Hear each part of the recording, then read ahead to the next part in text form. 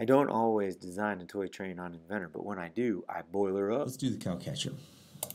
Start a new sketch on the XZ plane with some lines. First line is going to be straight up 0.25. And then at a right angle, it is going to be 1.8.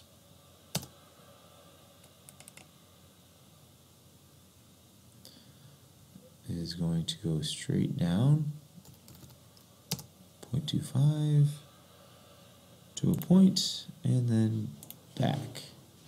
So one thing I want to do is use my equals constraint and make that equal. And I want to click on this point to here and make that 1. Alright, finish that sketch. Looks pretty good. Hit the plus sign on the origin and find the plane you're working on. In my case, it's the XZ plane. I'm just going to left click on there. And then I'm going to click on offset plane. And we're going to bring that up 0.75. And then we are going to start a sketch right on there. So there's lots of ways you can do this one. How I'm going to do this is I'm just going to draw a similar shape inside and we're doing the smaller smaller or the top one. And we want this to be 1.2 we want this to be um, 0.25 we're going to make those equal we want our entire dimension from the black line to here to be 0.75 alright let's make those equal. Looks good. Now I'm going to zoom in get that right on top so I'm going to make that 0 alright now how do we line it up? We know the entire side is 1.8. So I'm going to see if this works. Let's project that. Grab it in the middle and make this 0.9. There we go, because 0.9 is half of 1.8. Finish our sketch, and let's see if we can loft it. Go down under sweep. Alright, click here, click here, click to add. Let's click here. Alright, so it seemed to work. Cool. Good job. I was kind of nervous about those lines that I projected. But if it works, it works, right? Okay, the next thing we're going to do is we're actually going to shell out the bottom. So I'm going to flip it on its bottom. Click here, and let's click shell. And we want to make that 0.1. For me, it just defaulted to 0.1, so that's good. Click OK. And now we want to start a new sketch, project the geometry, and let's offset this also 0.1 and we are going to extrude this in 0.05 and do the similar thing to the other side.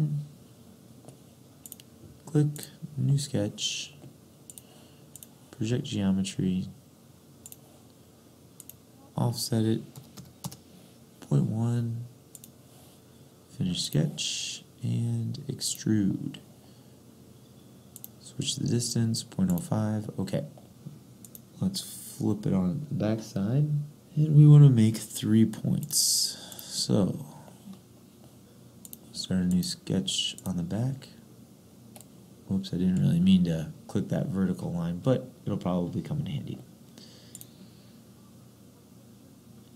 So let's put a point, again trying to avoid any um,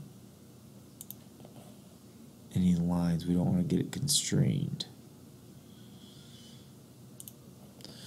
They give the location of this bottom right one first. So the height of this is 0.125. And from the right side it is 0.275.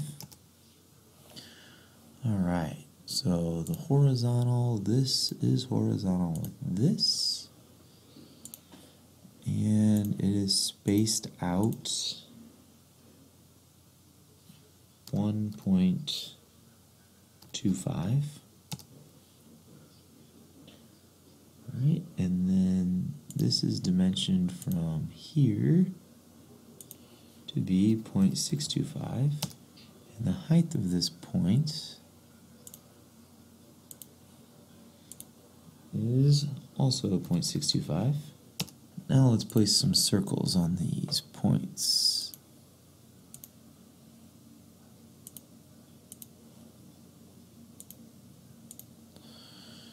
Okay, I'm going to work on this one over here. The diameter is 0.125. All of those are equal because it says typical, so I'm going to click and click, and then I'm also going to set that up. So now they're all equal. And let's finish and extrude those. I believe the extrusions is the same, 0.125. Alright, let's chamfer it. Nope, that one, there it is. And we want to chamfer and use this second one. The distance we want is 0.01 and the degree is 45. So I'm going to click on both the well, I guess it's only allowing me to do one. So I'm going to click OK. Um, oops, sorry. Too many things going on. I'm going to click on the chamfer here and remembers what I did. Click on the surface and the um, and the edge. Do it again. Do not forget to change this over to ABS plastic and save your work.